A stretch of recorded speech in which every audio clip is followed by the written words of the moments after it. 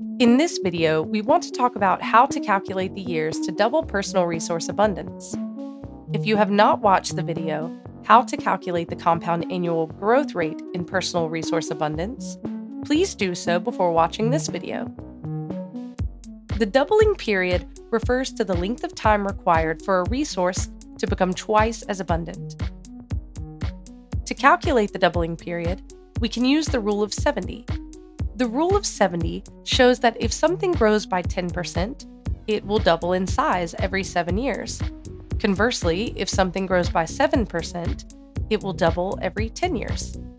To calculate the number of years needed for personal resource abundance to double, we need to divide 70 by the compound annual growth rate in personal resource abundance.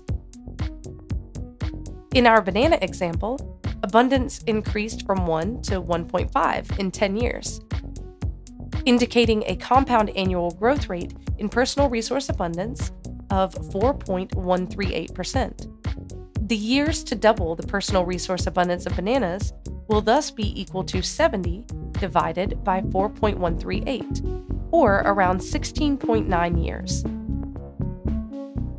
You can also calculate this value using the NPER function in a spreadsheet like Excel, Google Sheets, or the financial calculator.